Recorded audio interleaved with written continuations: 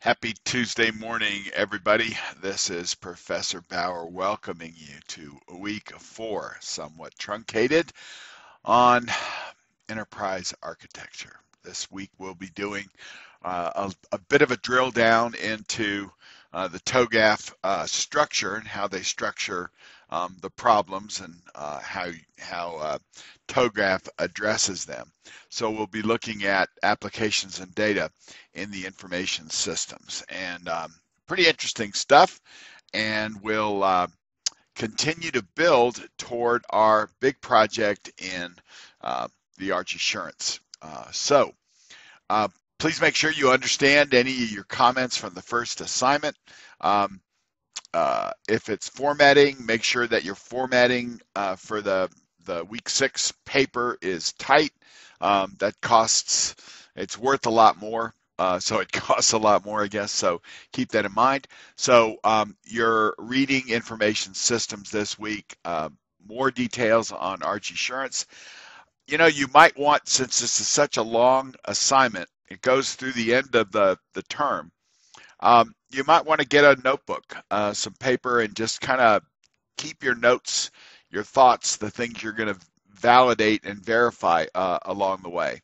Um, our discussions for Wednesday and the class for then as well. Okay, um, so here we are in the information systems side of things, and you'll see uh, from the architecture that there is uh, the various data entities, the conceptual diagram, the logical diagram, where the data goes in terms of how it's disseminated.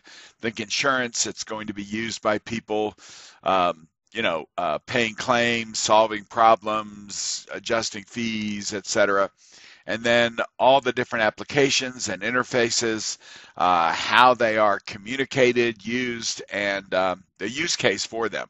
This is a lot of artifacts that come from this phase. An arti artifact, as we mentioned earlier, is, excuse me, um, an artifact is usually a document. So think about all the docs that are being genned in the TOGAF requirement. And the outputs from these serve as inputs in other places. We'll look at that uh, later on. So, um, application and data element, you're going to start working with TOGAF ArchiSurance to understand the relationship between what the vision of ArchiSurance is and how they're going to build a business layer and information systems uh, to reflect those goals. So, what you need to do is say, okay, what is the information system? We've got these three companies and they're merging, and what what's happening, and um, a, a, few curveballs are going to come your way where we'll have to adjust uh, some of these objectives, and then where are the inputs and outputs, and I will um, try to help you on that. All right, relevant concepts that you need to understand for the case study. Okay, this is this is the part where most people say there's nothing due this week, so I don't have to do anything. Okay? And sometimes it works.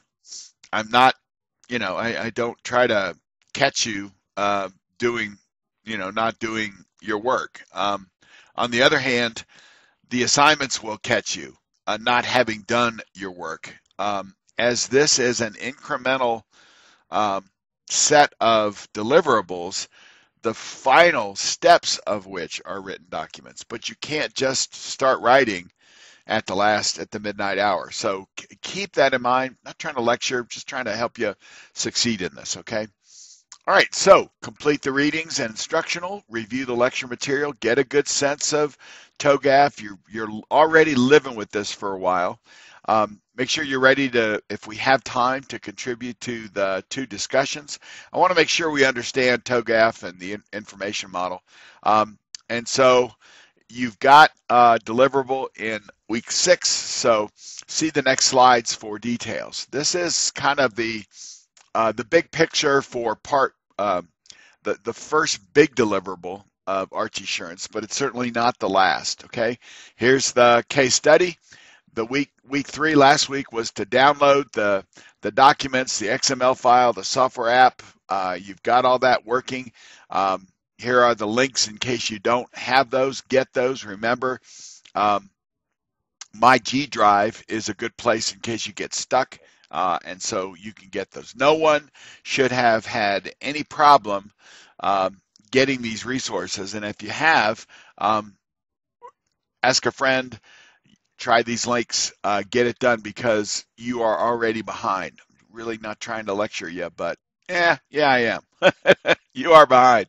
All right, so week four, you're reviewing, you're studying, you're adding some confidence in your level of understanding because you're going to have to write out of that level of confidence. And I, I'll have some uh, help for, for you, and I'll, I'll let you, I'll share that with you tomorrow night. Um, and then week five, we have to review some other elements the, in the in the network layer and um, looking at more inputs from the information systems architecture.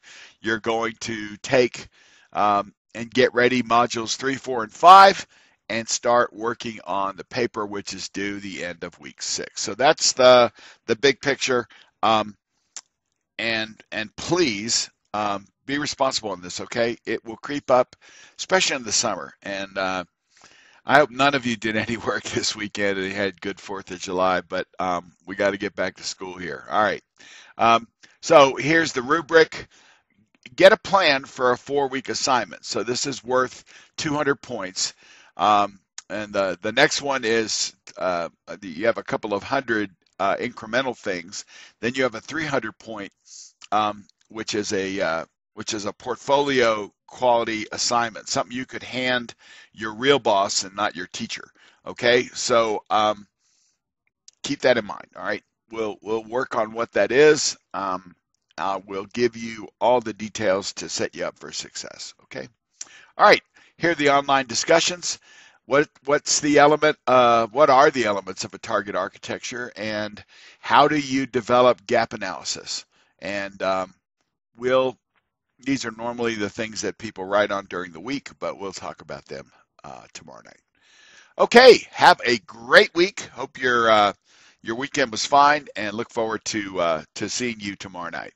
Bye bye now.